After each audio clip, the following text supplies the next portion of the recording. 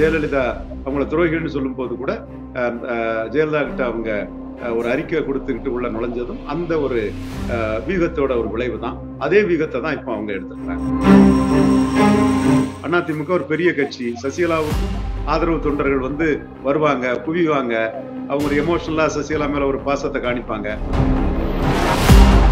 எடப்பாடி சசிகலா உள்ள வர்றத முழுக்க விரும்பல. இன்னைக்கு வந்து கே. பி. முனுசாமி தெரிவிச்சிருக்கிறது எடப்பாடியோட கருத்து. எடப்பாடி கே. பி. முனுசாமியை துணைத் தலைவரா போட்டா வைத்திலிங்கம் வருத்தப்படுவாரு.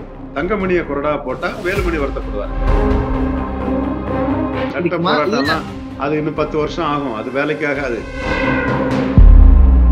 சசிகலாவோட நிலைப்பாட்டுல தினகரன் வாக்கு வங்கிய இழந்தாரு. இதுதான் உண்மை. மறுக்க முடியாத மறைக்க முடியாத உண்மை. இந்த ஒற்றை தலைமை அதிமுகவுக்கு வேண்டாங்கிற கருத்து நிச்சயமா மோடி கையில இருக்கதான் செய்யும். ஏன்னா ஒற்றை தலைமை நம்ப முடியாது. ஜெயலலிதா ஏமாத்துற மாதிரி ஏமாத்திட்டு போயிருவாங்க. இது இப்படிதான் ஓடிட்டே இருக்கும். இந்த சீன் சுத்தி சுத்தி வரும். ஆனா வராதுங்கிற மாதிரி.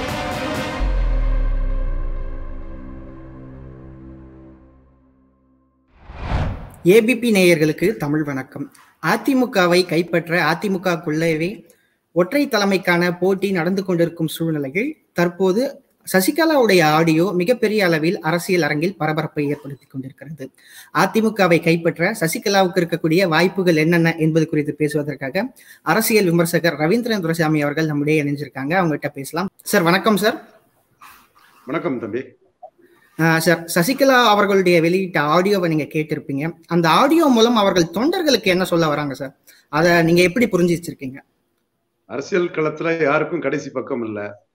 நானும் தமிழக அரசியல் ஒரு பிளேயர்னு காட்ட நினைக்கிறாங்க.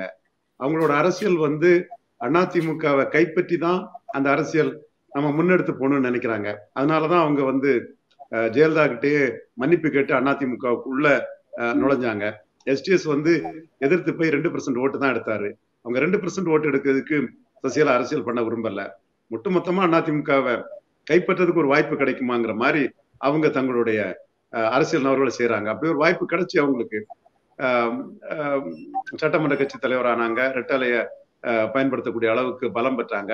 ஆனா அரசியல் சூழ்நிலை அதை ஆஹ், டெல்லி வந்து அதை தடுத்துடுச்சு. இப்பொழுது மீண்டும் அவங்க தன்னோட அரசியல் நகர்வுகளை நான் அதிமுக ரெட்டலைக்கு சொந்தக்கார ஆளு அண்ணா அதிமுக தான் என் கட்சி எம்ஜிஆர் ஜெயலலிதா தான் எங்க தலைவர்கள் அப்படின்ற அடிப்படையில அந்த கட்சி நலன் தான் எங்களோட நலன்னு அதிமுகவுக்குள்ள நுழைஞ்சு அந்த கட்சிக்குள்ள வந்து அதை கைப்பற்றுங்கிறது அவங்களோட அரசியல் நகர்வா இருக்குது. ஏற்கனவே ஜெயலலிதா அவங்கள துரோகின்னு சொல்லும் போது கூட ஜெயலலிதா கிட்ட அவங்க ஒரு அறிக்கை கொடுத்துக்கிட்டு உள்ள நுழைஞ்சதும் அந்த ஒரு வீகத்தோட ஒரு விளைவு தான். அதே வீகத்தை தான் இப்போ அவங்க எடுத்திருக்கிறாங்க. சசிகலா அதிமுகவை கைப்பற்றும் விவகாரத்தில் டெல்லியினுடைய நிலைப்பாடு என்னவாக இருக்கிறது? டெல்லியோட நிலைப்பாடு நாங்க குஜராத்லயும் டெல்லியிலயும் எங்க சோர்சஸ் விசாரித்த வரையில இப்போ அதை பற்றி நாம கவலைப்பட வேண்டியதில்லை. அதிமுகவில் நடக்குது நடக்கட்டு. நன் ஆஃப் அவர் பாதரிசேஷன் நம்ம கட்சி நம்ம பேஸ ஸ்ட்ரெங்தன் பண்ணுங்கிற மாதிரி தான் இப்போ அவங்க நிலைப்பாட்டில் இருக்கிறாங்க. இது அதிமுக இதனால பலப்படுறதோ பலகீனப்படுறதோ அவங்க சம்பந்தப்பட்டவங்க. இதுல யார் ரோல் எடுக்கிறதும் யார் முக்கியத்துவம் பெறுவதும் அவங்க மூணுவர் சம்பந்தப்பட்டவுடைய இது. நாம இதுல மௌனமா இருந்தா போதுங்கிறதான் டெல்லியோட முடிவு. குறிப்பா டெல்லி தன்னுடைய பார்வையை எப்போ செலுத்தும்னா ரெண்டாயிரத்தி இருபத்தி நாலு மக்களவை தேர்தலை கருத்துல கொண்டுதான் தன்னோட பார்வையை செலுத்தும். அப்பொழுது அது என்ன வீகம் எடுக்குதோ அதுக்கு தக்கனதான் அது போகுமே தவிர இப்போ டெல்லி இந்த விஷயத்துல தலையிடல. இதை பற்றி அவங்க கவலைப்படல. அவங்களுக்கு பார்க்கறதுக்கு இந்தியா முழுக்க பல விஷயங்கள் இருக்குது. அதிமுகல நடக்கக்கூடிய இந்த விஷயம் அவங்களுக்கு இன்னைக்கு ஒரு பெரிய முக்கிய மேட்டரே இல்லை. இந்த மேட்ருக்குள்ள அவங்க மைண்ட் அப்ளை பண்ணல. யாருக்கும் ஆதரவோ எதிர்ப்போங்கிற எந்த நிலைப்பாடும் அவங்கள்ட்ட இன்னைக்கு இல்லை. சார் அதிமுகவிட்ட இருந்து முதற்கட்டமா கே பி முனுசாமி அவர்கள்ட்ட இருந்து ஒரு எதிர்வினை வந்திருக்கு. அவர் கிருஷ்ணகிரியில பேட்டி கொடுத்திருக்காரு. சசிகலா அவர்கள் வந்து அதிமுக தொண்டர்கள்ட்ட பேசல. அமமுக தொண்டர்கள்ட்ட பேசி ஆஹ் அதிமுகல குழப்பத்தை ஏற்படுத்த பாக்குறாரு. அது நடக்காதுன்னு சொல்றாரு. ஆஹ் ஜெயலலிதா அவர்களுடைய ஆன்மா சாந்தி அடையணும் அப்படிங்கிற ஒரு நோக்கத்துக்காவது சசிகலா அவர்கள் வந்து இந்த கட்சியை விட்டு விலகி இருக்கணும் அப்படிங்கிற ஒரு வேண்டுகோளையும் வச்சிருக்காரு. இதை எப்படி பாக்குறீங்க சசிகலா அதிமுகவை கைப்பற்றுறது தொடர்பா? எந்த வகையான பேட்டி கொடுத்தாலும் அவர் தரப்புல இருந்து மட்டும்தான் எதிர்வினை வருது. ஓபிஎஸ் தரப்புல இருந்தோ அல்லது இபிஎஸ் தரப்புல இருந்தோ எந்த விதமான எதிர்வினையே வரல. ஒண்ணு ஜெய்குமார் வந்து ஆரம்ப காலகட்டங்கள்ல அந்த எதிர்ப்பை பதிவு செஞ்சுட்டு இருந்தாரு. ஆனா அதற்கு முன்னாடியில இருந்தே இந்த கே பி முனுசாமி சசிகலா எதிர்ப்பு நிலைப்பாட்டுல மிக தீவிரமா இருக்காரு. இந்த பேட்டியில இருந்து என்ன புரிஞ்சுக்கிறீங்க சார்? இன்னைக்கு கே பி முனிசாமி இந்த பேட்டியை சொல்றாருன்னா இந்த பேட்டிக்கு வந்து இது இபிஎஸோட முழு கன்கரன்ஸ் இருக்குது. அவர் இந்த ஸ்டாண்ட்ல தான் இருந்துட்டு இருக்கிறாரு. அவர் பன்னீர்செல்வத்து கூட இருக்கும் போதும் கட்சியும் ஆட்சியும் ஒரு குடும்பத்துக்கிட்ட போக கூடாதுன்னு தான் பன்னீர் பன்னீர்செல்வம் வந்து நிலைப்பாடு எடுத்தாரு. இன்னைக்கு பன்னீர்செல்வம் சசிகலாவுக்கு சாப்பிட்டா இருந்தாலும் கூட வெளிப்படையா கே பி முனிசாமியை இந்த விஷயத்துல எழுத்திட மாட்டாரு. அப்படி எழுத்தா பன்னீர்செல்வத்துக்கு எதிர்ப்பு ஜாஸ்தி ஆயிரும். பன்னீர்செல்வம் ஐசோலேட் ஆயிருவாரு. சோ பன்னீர்செல்வம் இந்த இடத்துல ரொம்ப ஹி வில் சர்க்கம் இஸ் மூவ் ரொம்ப நிதானமா தான் தன்னோட மூவை எடுத்து வைப்பாரு. அவர் சசிகலாவுக்கு பாசிட்டிவா தான் பன்னீர்செல்வம் இருக்கிறாரு. எடப்பாடி சசிகலா உள்ள வர்றத முழுக்க விரும்பல. இன்னைக்கு வந்து கே. பி. முனுசாமி தெரிவிச்சிருக்கிறது எடப்பாடியோட கருத்து. மெஜாரிட்டி பார்ட்டிக்காரங்களோட கருத்து தான். மெஜாரிட்டி எடப்பாடி கையில தான் இருக்குது. ரெட்டையில இரட்டை தலைமனா கூட மெஜாரிட்டி சப்போர்ட் வந்து எடப்பாடி கிட்ட தான் இருக்குது. So K. பி. முனுசாமி அந்த கருத்தை தான் சொல்லியிருக்கிறாரு. பன்னீருக்கு இது உடன்பாடான கருத்து அல்ல. நிறைய அமைச்சர்களுக்கு இது உடன்பாடான கருத்து அல்ல. ஆனா அவங்க உடனே இதுல சொல்லிக்கிட்டு கே. பி. முனுசாமி கிட்ட சண்டை போட்டு அந்த ஒரு லூசிங் பேட்டலுக்கு போக மாட்டாங்க. சந்தர்ப்ப சமயம் வரும்போது வந்து அவங்க வந்து சசிகலாவுக்கு ஆதரவான வார்த்தைகளை பேசலாம். அதுக்குள்ள காலம் சூழ்நிலையை பொறுத்து அது அமையும்.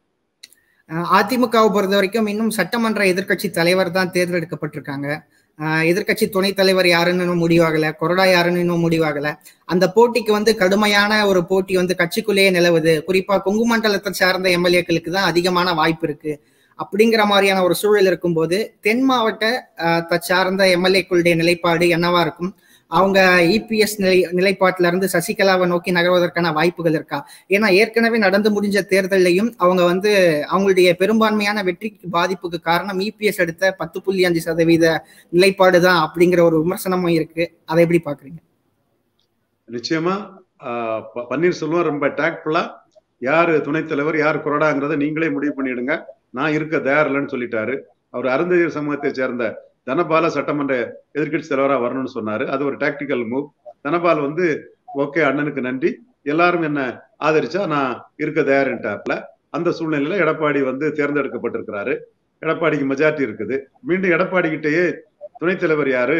கொரடா யாருன்னு போடக்கூடிய முடிவை பன்னீர் கொடுத்துட்டாரு. இதுல என்ன டாக்டிக்ஸ்னா எடப்பாடி கே பி முனிசாமியை துணைத் தலைவரா போட்டா வைத்தியலிங்கம் வருத்தப்படுவாரு. தங்கமணியை கொறடா போட்டா வீர் இவரு இவர் இன்னொருத்தர் குமாரபாளையம் எம்எல்ஏ. அவரு வேலுமணி வருத்தப்படுவார். தங்கமணி குமாரபாளையம் எம்எல்ஏ. அவரை கொறடா போட்டா வேலுமணி வருத்தப்படுவார். இப்படி வந்து இவரை போட்டா அவர் வருத்தப்படுவாரு அவரை போட்டா இவர் வருத்தப்படுவாருன்னு துணைத் தலைவருக்கும் கொறடாவுக்கும் அதிமுக கட்சி அரசியலுக்குள்ள நான் மேல வந்துடணும் நீ மேல வந்துடணும் போடாத படாத போட்டி இருக்குது. பன்னீர்செல்வம் ஏதாவது ஒருத்தர் சொன்னார்னா இது பன்னீர்செல்வம் ஆளுக்குன்னு ஆளுன்னு சொல்லி சிம்பிளா வந்து எடப்பாடி அதுல முடிவெடுத்துட முடியும். இப்ப முடிவெடுக்கக்கூடிய கஷ்டமான விஷயத்த எடப்பாடி கையில பன்னீர் கொடுத்துட்டு லாவகமா அவர் போயிட்டாரு. பன்னீர் என்ன நினைக்கிறாரு? இவர் எக்ஸ முடிவெடுத்தாருன்னா ஒய் நம்ம கிட்ட வந்து பேசுவாரு. ஒரு ஒய்ய முடிவெடுத்தாருன்னா எக்ஸ் நம்மகிட்ட வந்து பேசுவாரு. ஏய முடிவெடுத்தாருன்னா பியும் சியும் நம்ம கிட்ட வருவாப்புல. இப்படி இவங்களுக்குள்ள ஒரு கண்ணாமூச்சி அரசியல் நுணுக்கமான அரசியலை விளையாடிட்டு இருக்காங்க. எடப்பாடி அதனால வந்து உடனே முடிவெடுக்க முடியாம அந்த முடிவெடுக்கக்கூடிய நேரத்தை காலதாமதம் பண்ணிட்டு இருக்கிறாரு. எப்படி வருது? அவசரப்படாண்டா நமக்குள்ள குழப்பங்கள்ல ஒவ்வொருத்தரும் நம்மளோட குழப்பங்களை பார்த்து நம்ம டீம்ல உள்ளவங்க ஒரு முடிவுக்கு வரட்டு அவரே இருக்கட்டும் இவரே இருக்கட்டும்னு ஒருத்தருக்கு ஒருவர் வந்து சொல்லி யாரு பிடிவாதம் பிடிக்காங்க யாரு போர் பாலிட்டிஸ் பண்ணுவாங்க யாரு கொடுக்கலன்னா கோவப்படுவாங்க இப்படி எல்லாத்தையும் பார்த்துக்கிட்டு துணைத் தலைவரையும் கொரடா போன்ற பதவிகளை நியமிக்கலான்னு எடப்பாடி இருக்கிறாப்ல சோ இவங்களுக்குள்ள ஒரு கண்ணாமூச்சி ஓடிட்டு இருக்குது. ரெட்ட தலைமைக்குள்ள ஒரு அரசியல் ஓடிக்கிட்டு தான் இருக்குது. இதுல துணைத் தலைவரையும் கொறடாயும் முடிக்கும் தேர்ந்தெடுக்க வேண்டிய பொறுப்பை வந்து இவங்க எடப்பாடி கையில பன்னீர்செல்வம் கொடுத்துட்டாரு. சார் சசிகலா வந்து இப்ப ஆடியோ வெளியிட்டு இருக்காங்க அந்த ஆடியோக்கு பிறகு அவங்களுடைய நகர்வு என்னவா இருக்கும்? இந்த ஆடியோக்கு பிறகு ஆடியோவுக்கு எதிர்வினைய கே பி முனுசாமி வெளியிட்டுட்டாரு. வேற யாராவது சசிகலாவுக்கு ஆதரவா வருவாங்களாங்கிற எதிர்பார்ப்பு அவங்களுக்கு இருக்கும். இன்றைய தினையில அதற்கான எதிர்பார்ப்பு வந்து நிறைவேறக்கூடிய அளவுக்கு யாரும் பேசுறதுக்கு வாய்ப்பு இல்லை. ஏன்னா மீண்டும் சொல்றேன் லூசிங் பேட்டர்ல யாரும் கால் எடுத்து வைக்க மாட்டாங்க. சசிகலாவை சேர்க்கணும்னு சொன்னா இன்னைக்கு வந்து சேர்க்கக்கூடிய நிலைமையில இல்ல. சோ சசிகலா என்ன பண்ணுவாங்கன்னா இன்னும் ஒரு ஒன்றரை மாசம் கழிச்சு அடுத்த மூவை பண்ணுவாங்க. நேர்ல போவாங்க தொண்டர்களை சந்திப்பாங்க கோயிலுக்கு போவாங்க அப்போ மக்களை சந்திப்பாங்க. இப்படி அவங்க அதிருப்தியா அதிருப்தியா உள்ள அதிமுக காரங்க வந்து சசிகலா வந்து பார்ப்பாங்க. சசிகலா மீண்டும் கட்சிக்குள்ள வரணுங்கிற கருத்து உருவாகும். அப்பவும் இது பெரிய பரபரப்பை ஏற்படுத்தும். சோ அவங்க தொடர்ந்து வந்து அதிமுக எனது கட்சி இரட்டையில எனது சின்னம் நான் அதிமுக இருந்து வளர்ந்தவன். இந்த கட்சிக்கு நான் எதிராக பண்ண மாட்டேன். இந்த கட்சியை பலப்படுத்தோன்னு அந்த கட்சிக்கு உரிமை கொண்டாடி சொந்தம் கொண்டாடி தன்னோட ஒவ்வொரு நபர்களையும் பண்ணிக்கிட்டே தான் இருப்பாங்க. இது பெரிய தலைவலியா எடப்பாடிக்கு இருக்கும். அவரும் அந்த தலைவலியை சம்ப சந்திச்சு அதை எதிர்கொண்டுட்டு தான் இருப்பாப்புல. ரெண்டாயிரத்தி இருபத்தி நாலு மக்களவை தேர்தல் வர இது இப்படிதான் இழுத்துக்கிட்டே போகும். ரெட்டத்தலைமை போகும் சசிகலா ஒரு ரோல் எடுப்பாங்க அவங்க அடுத்தால ஒரு டிவியில பேட்டியை கொடுப்பாங்க ஒரு கோயிலுக்கு போவாங்க ஒரு தொண்டர் வீட்டு கல்யாணத்துக்கு போவாங்க ஒரு நடராஜன் நடத்துற மாதிரி பொங்கல் விழா மாதிரிப்பட்ட விழாவை கூட நடத்தலாம். இப்படிதான் இது போயிட்டு இருக்கும் ஸோ அப்போ வந்து சசிகலா வந்து ஏற்கனவே ரெட்டலையை கைப்பற்ற ஒரு சட்ட போராட்டம் ஒன்னா முன்னெடுத்தாங்க. ஆனா இப்ப நேரடியா வந்து தொண்டர்களை சந்திக்கக்கூடிய ஒரு வியூகத்தை முன்னெடுத்திருக்காங்க. ஏற்கனவே இந்த அவங்களுக்கு எது கை கொடுக்க நினைக்கிறீங்க? ரெட்டலை எனக்கு தான் சொந்த போராட்டம் எல்லாம் கை கொடுக்காதுங்க. அது இன்னும் பத்து வருஷம் ஆகும். அது வேலைக்காகாது அது. சும்மா சொல்லிட்டு இருக்கலாம். ரெட்டலைக்கு மேல ஒரு சிவில் கேஸ் இருக்குது. அது நாங்க தான் பொதுச் செயலாளர்னு அதை சொல்லிட்டு இருக்கலாமே தவிர அது ஒன்றும் முடிவுக்கு வராது. அது இழுத்துக்கிட்டே போகும். அது ஜூரிசிக்ஷன் பெக்குனரி ஜூரிசிக்ஷன் அது இதுன்னுட்டு அது வந்து இன்னும் அப்பீலு மிசலின்ஸ் பெட்டிஷன் அந்த பெட்டிஷனுக்கு மேல தீர்ப்பு அப்படி இப்படின்னு அதெல்லாம் இன்னும் பத்து வருஷம் ஆகுங்க. அதை நம்பி எல்லாம் பத்து வருஷம் அரசியல் பண்ண முடியாது. இவங்க தொடர்ந்து இது ஆர்கே நகர்ல இருந்தே ஆர்கே நகர் கர்நாடகா இது பாராளுமன்ற தேர்தல் உள்ளாட்சி தேர்தல் இடைத்தேர்தல்கள் இப்படி எல்லா தேர்தல்லையும் சட்டமன்ற பொது தேர்தலையும் வந்து இபிஎஸ் ஓபிஎஸ் தானே கொடுத்துருக்காங்க. அதுக்கு என்ன தடை இருக்குது? தடை இல்லாம கொடுத்துட்டு இருக்காப்லையே அந்த சிவில் கேஸை வச்சு என்ன பண்ண? அந்த சிவில் கேஸ் ஒன்றும் ஆகாது. மற்றபடி தான் ஒரு போல்ஸ்னி காட்டுறதுக்கு சில விஷயங்களை பண்ணி அரசியலை பண்ணி ரெண்டாயிரத்தி இருபத்தி நாலுக்குள்ள ஒரு ரோல் தனக்கு எடுக்க முடியுமான்னு சசிகலா பார்ப்பாங்க. சார் இப்ப சசிகலா வந்து கொரோனா தாக்கம் குறைந்த பிறகு மக்களை சந்திக்க வாய்ப்பு இருக்கு அப்படின்னு சொல்லியிருந்தீங்க. அதிமுக தொண்டர்களை சந்திக்க வாய்ப்பு இருக்குன்னு சொல்லியிருந்தீங்க. ஏற்கனவே அதிமுக தொண்டர்கள் மத்தியில இபிஎஸ் ஒரு தனிப்பெரும் லீடரா உருவெடுத்துட்டார்.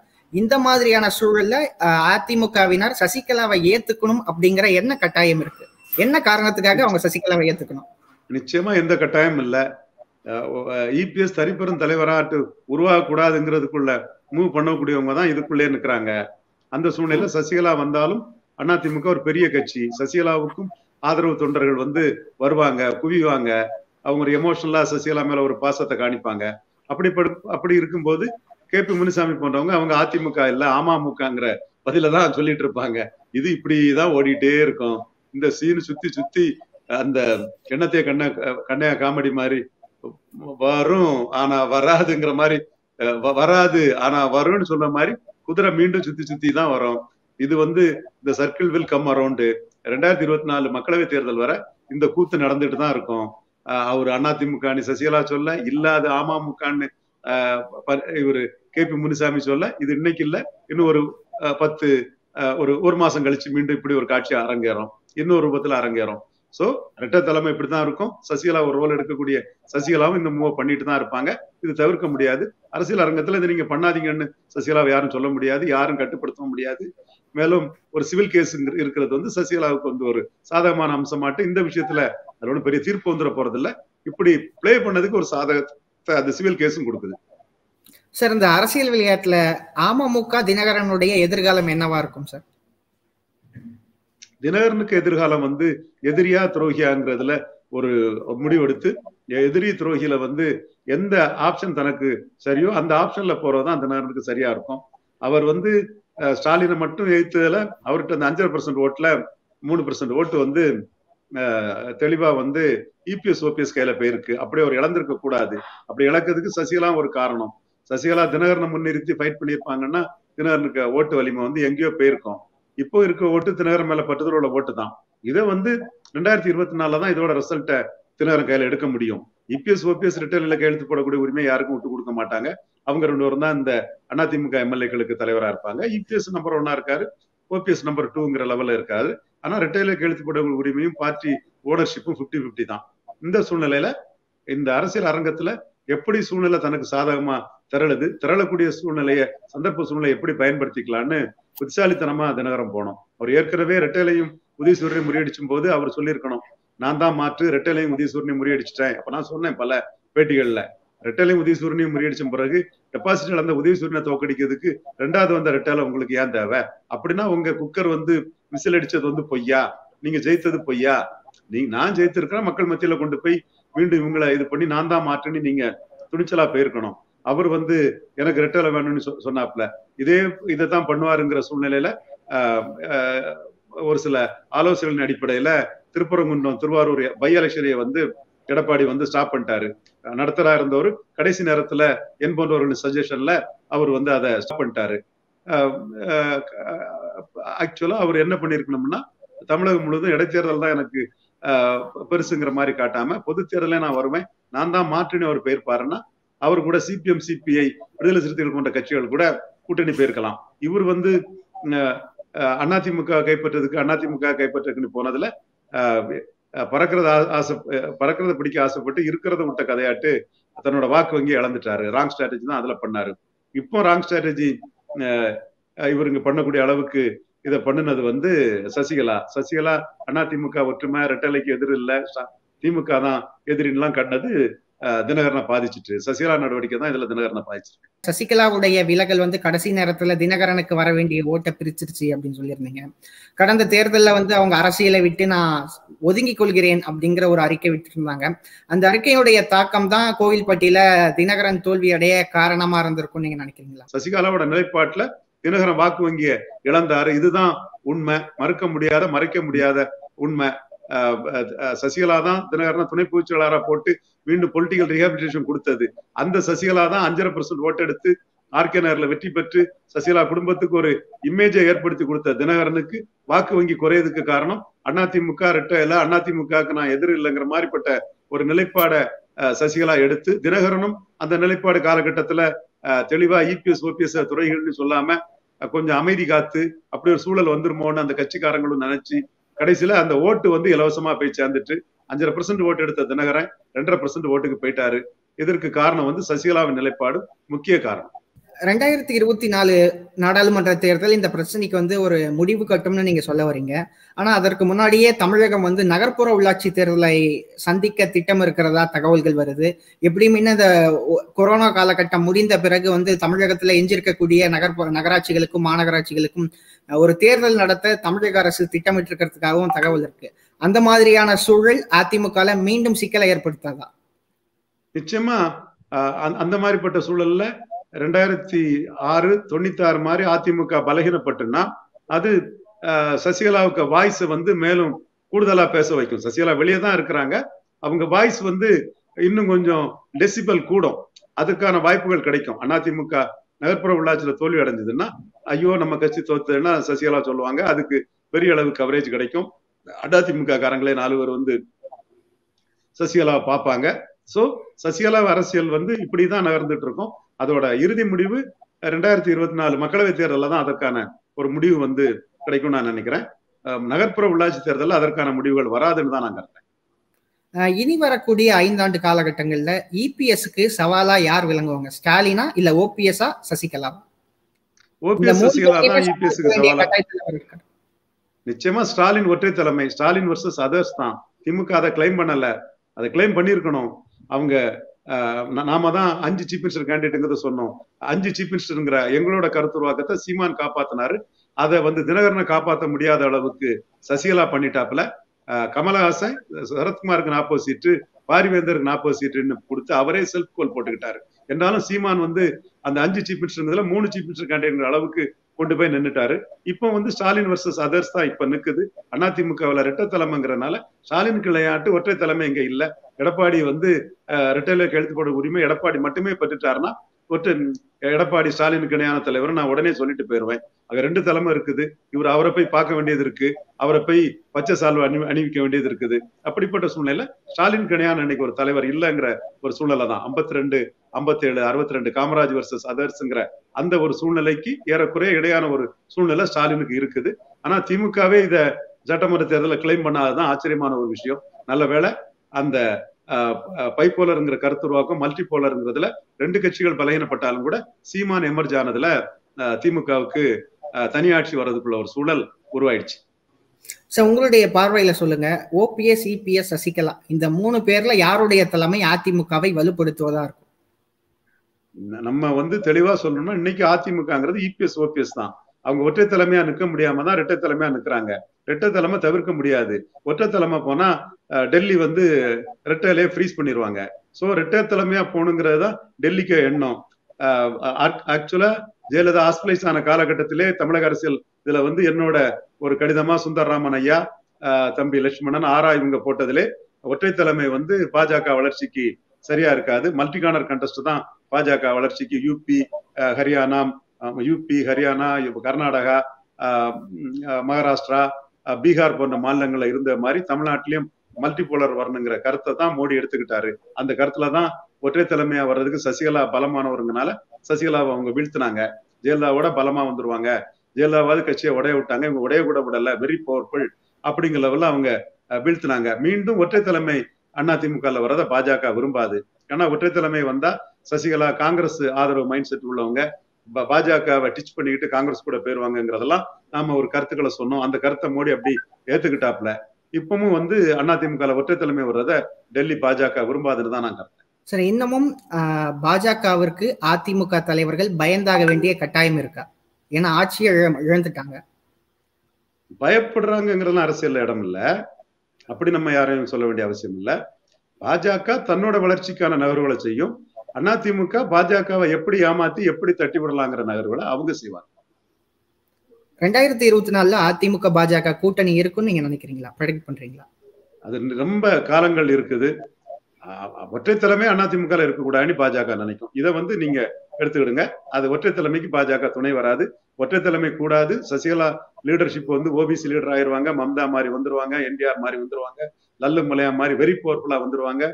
அவங்க வந்து முலையாமையும் கன்சிராமையும் சேர்த்து பாஜகவை யூபியில வீழ்த்தவங்க ஆல் இண்டியா அரசியல் பண்ண பண்ணக்கூடியவங்க இன்டர்நேஷனல் கான்டாக்ட் உள்ளவங்க ரொம்ப திறமசாலி நடராஜன் மிகப்பெரிய ராஜதந்திரி. ஸோ இவங்களை அலோவ் பண்றது பாஜகவுக்கு எந்த அளவில் லாபம் தராதுங்கிற அந்த கருத்தின் அடிப்படையில தான் இவங்களை கிராக் டவுன் பண்ணாரு மோடி. அந்த ஒற்றை தலைமை அதிமுகவுக்கு வேண்டாங்கிற கருத்து நிச்சயமா மோடி கையில இருக்கதான் செய்யும். ஏன்னா ஒற்றை தலைமை நம்ப முடியாது. ஜெயலலிதா ஏமாத்தின மாதிரி ஏமாத்திட்டு போயிருவாங்க. சோ இரட்டை தலைமையா இருக்கிறது வந்து அண்ணாதி பாஜகவுக்கு ஒரு சாதகமான ஒரு தன்மையை கொடுக்கும்னு நான் கருதுறேன். பாஜக தலைமையும் அந்த ரெட்ட தலைமை தொடர்றதான் விரும்பும். உங்களுடைய கருத்துக்களுக்கு மிக்க நன்றிங்க சார்.